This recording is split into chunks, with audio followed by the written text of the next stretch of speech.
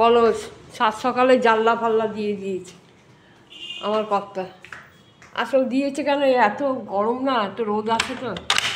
সেই জন্য জানলা ফাল্লা সব দিয়ে দিয়েছে। বাইরের রোদটা দেখো, বন্ধুরা। আজকে বুঝতে পারছি না, আজকে কি অনেকে বলে রোদের তাপটা নাকি আজকে একটু কম আছে। আমার তো মনে হচ্ছে একই আছে। আমার কাছে আলাদা কিছু লাগছে না। সয়ে গেছে, এতদিন ধরে গরমটা না।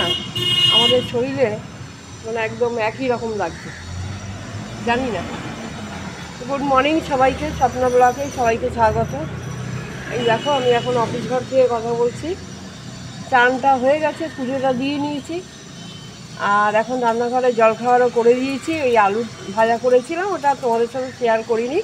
ওটা তো তোমরা প্রতিদিনই দেখো। নতুন করে আর কিছু শেয়ার করলাম না। তো চলো, এখন একটুখানি রান্না বান্না শুরু করে দিই, দুপুরের জ্বালাটা দিয়ে দিই। এত গরম না, দিয়ে দেয় ভালো। জ্বালাটা দিয়ে দিলাম। আর সব তোমরা কেমন আছো এই গরমে? কী গরমে আর কী করে বলব বলো? ভালো থাকার এখন কথাই না। সবারই শরীর খারাপ। গরমে বেরোতে পারা যায় না, কিছু না, কোনো কাজ করা যায় না। প্রচণ্ড শরীর খারাপ লাগে।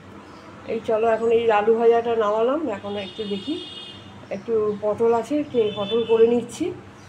তো একটুখানি হালকা করে, কটা পটল আছে? ভাবলাম তাহলে এই যে তেল পটল করে নেব।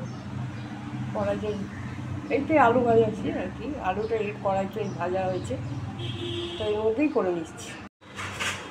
কালো জিরে দিয়ে দিলাম। পটলগুলো না মাঝখান দিয়ে একটু কেটে নিয়েছি।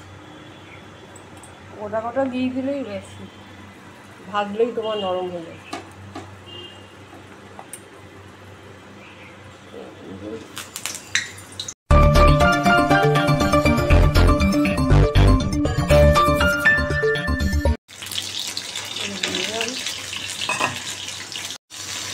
এখানে আসার কথা পাশে তোমার ফ্ল্যাট তৈরি হচ্ছে তো, সেই জন্য ওরা মনে হয় মার্বেল বসাচ্ছে আওয়াজ হচ্ছে মেশিনে। আমি এর জন্য একটুখানি কথাটা একটু এখন চিৎকার করে বলতে হবে, বুঝতে পেরেছ বন্ধুরা? দেখেছি আওয়াজ শুনতে পাচ্ছে কি না আমি জানি না। তোমাদের কাছে আওয়াজ যাচ্ছে কি না জানি না। প্রচণ্ড আওয়াজ হচ্ছে এই পাশের ফ্ল্যাট হচ্ছে, এদিকে সেখানে। তেল, পটল খেতে খুব ভালো লাগে বন্ধুরা, জানো?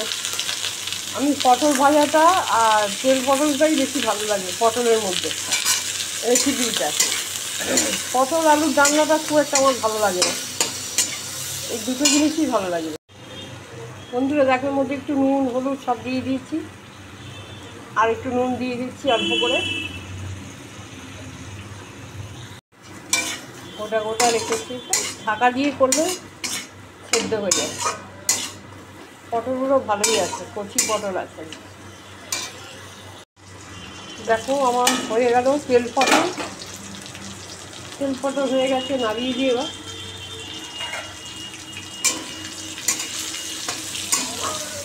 একটু তেল বেশি লাগে, তেল পটলে একটু বেশি তেল দিতে হয় তোমার। সবাই ভালো লাগে খেতে। চলো বন্ধুরা, তেল পটল হয়ে গেছে, নামিয়ে দিই।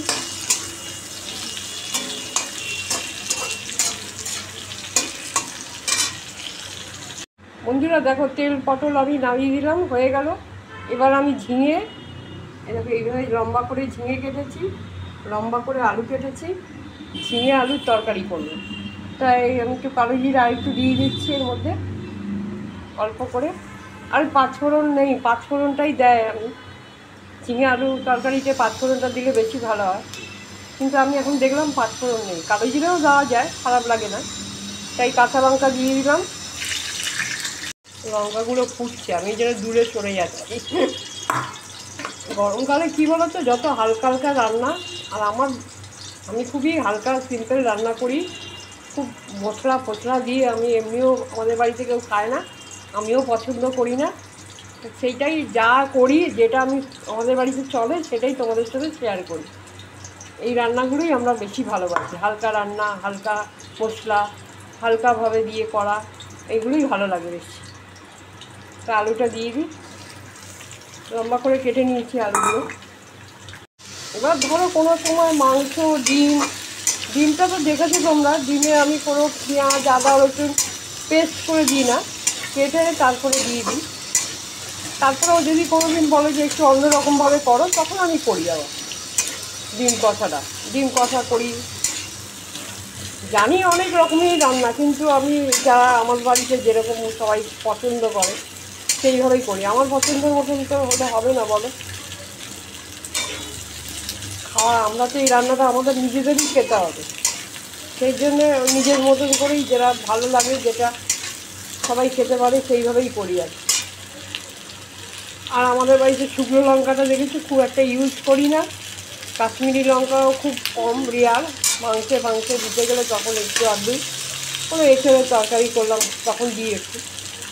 এছাড়া কাঁচা লঙ্কাটাই আমাদের বাড়িতে খুব চলে।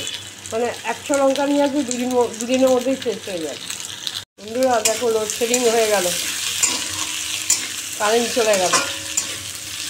বুঝতে পারছ কিনা জানি না। রান্নাঘরে তো লাইট জ্বালিয়ে করতে হয় আমাকে।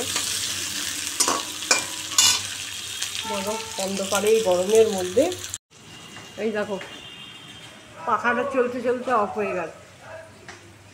কি অবস্থা? লিরুপা লিরুপা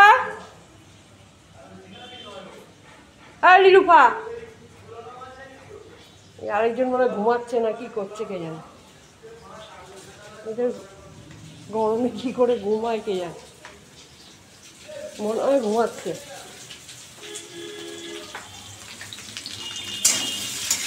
বলো।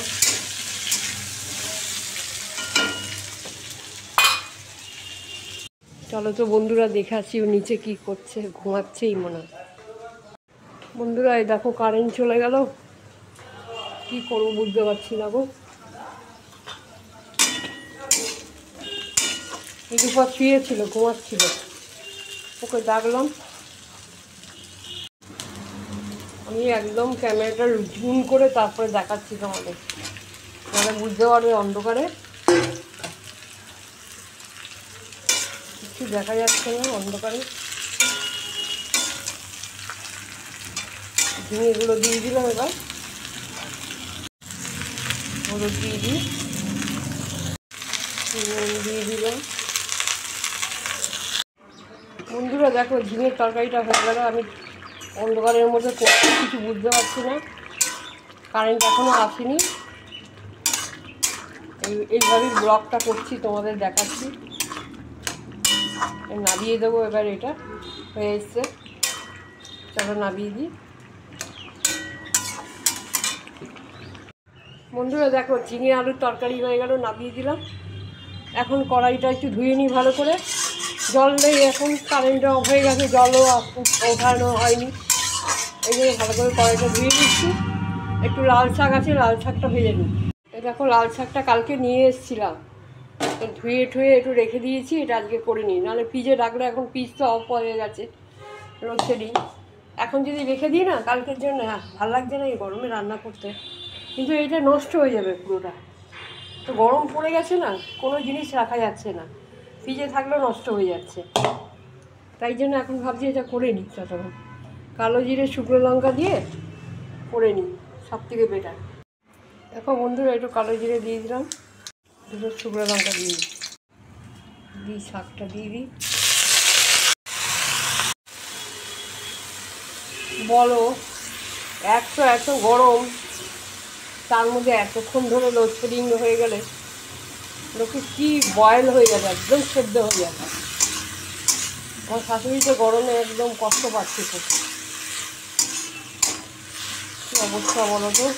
আধ ঘণ্টা হয়ে গেল। কী হয়েছে কাউকে দেখতেও পাচ্ছি না। কাউকে যে জিজ্ঞেস করব, কাউকে দেখতেও পাচ্ছি না। বন্ধুরা, এই কারেন্ট এলো যাচ্ছে দেখো জাস্ট কারেন্ট এলো। লাইটে জ্বালিয়ে রেখেলাম বাবার যা অবস্থা হয়েছিল। জল ছিল না কলে। আমি ভাবলাম যে যা মাছ ফাছ ধোবো কী করে এবার? এই লাল শাকটা এখন করছি।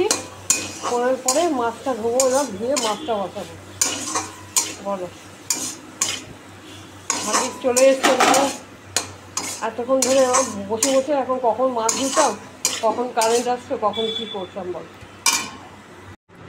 বন্ধুরা, দেখো, লাল শাক ভাজা হয়ে গেল নাবিয়ে দিলাম।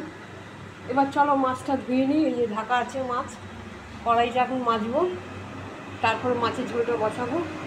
ভাবিস কারেন্টটা এসছে বলে তাড়াতাড়ি করে নিচ্ছি। এই লাল শাক ভাজা হয়ে গেল।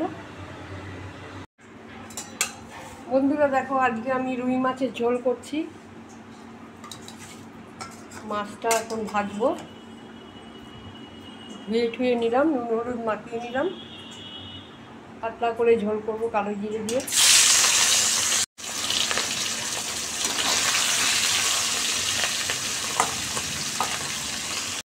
দিয়েছি ভাজা। আলু কেটেছি লম্বা লম্বা করে, কালো জিরে, কাঁচা লঙ্কা দিয়ে ঝোল করব। বন্ধুরা দেখো, কালো জিরে দিয়ে দিলাম মাছের ঝোল। এই দেখো মাছ ভেজে রেখেছি। ভাজা হয়ে গেছে মাছ।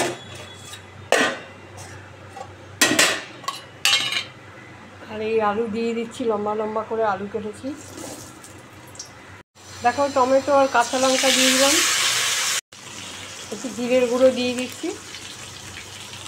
অল্প করে দেবো। পাতলা করে ঝোলটা হবে। দুধের গুঁড়ো দিয়ে দিলাম। নুন দিয়ে দিলাম। দেখো, এবার কষাবো। মশলাটা কষিয়ে এবার মাছগুলো দিয়ে দেবো। এবার জল দিয়ে দিচ্ছি।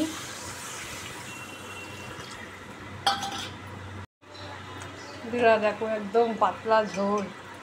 এই গরমে এই মাছের ঝোলটা খেতে খুব ভালো লাগে। এইভাবে করলে পরে। গুড ইভিনিং সবাইকে, বন্ধুদের।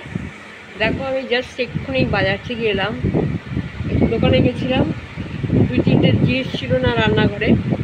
প্রতিদিনের যেগুলো লাগে আমাদের রান্নাবান্না করতে, কিছু ছিল না। সেগুলো আবার কিনতে বেরিয়েছিলাম। ও ছিল না, ও একটুখানি গেছিল এক জায়গায়। তা আমি একটুখানি, আমার ননদ এসেছিল, নিচে বসছিল, আমি বসিয়ে দিয়ে আমি নিজে গেছিলাম। তা জাস্ট এই ইয়া কি গরম গো, মারাত্মক গরম। মানে ঘরে থাকলে গরম, বারান্দায় বসলে গরম। রাস্তায় বেরোলে তো মানে ঝরঝর করে মানে ঘামিয়ে চান হয়ে যাচ্ছি। ঘরেও চাই, বারান্দাও চাই, সেম। এত গরম না মানে গরমটা নেওয়া যাচ্ছে না। কি বলব, আর এই গরমের ব্যাপারে আর মানে প্রতিদিন গরম গরম করেই মানে কয়টা দিন ধরে যে আরম্ভ হয়েছে, আর এই গরমটা যে কবে যাবে, এতটা গরম যে কবে নিচে নামবে, আমি বুঝতে পারছি না। বিয়াল্লিশ, তেতাল্লিশ ডিগ্রি চলছে, বলো, এত গরম আমাদের সহ্য হয়। একদম রাজস্থান হয়ে গেছে, একদম। একদম মরুভূমি হয়ে যাচ্ছে। যেখানে একদম বলে না, চারিদিকে রাজস্থানে যেরকম একদম চারিদিকে বালি বালি বালি আর গরম, ওখানে মারাত্মক গরম। সেই গরমটা আমাদের ওখান থেকে মনে হয় বেশি গরম কলকাতায় এসছে আর কি। এরকম অবস্থা। তো চলো আর বেশি কথা বাড়াচ্ছি না, কাপড় জামা পরেই আছি। এইগুলো ছেড়ে ছেড়ে নিই, ছেড়ে নিয়ে আমি আরেকবার গা ধোবো, ধুয়ে তারপরে বসবো একটু বারান্দায়, তারপরে যা করার করব। তো চলো, এখন আজকে রাখছি এখানে ব্লগটা শেষ করছি। কালকে আবার তোমাদের সাথে কথা হচ্ছে, এত গরমে আর ভালো লাগছে না, বিশ্বাস করো। হ্যাঁ আমি মানে একটু বসবো, একটু গায়ে জল দিয়ে যেন মনে একটু ঠান্ডা হবে। চলো বন্ধুরা, এখানে রাখলাম, শেষ করলাম ব্লগটা কালকে আবার কথা হচ্ছে, কালকে আবার যা যা হবে, সবটাই তোমাদের সঙ্গে শেয়ার করব। Good night tata.